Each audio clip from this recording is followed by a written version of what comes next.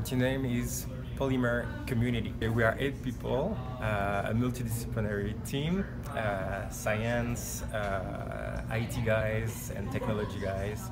So that's what it is. We're working actually on a, a mix of solutions, uh, app, uh, technology, and citizen uh, science.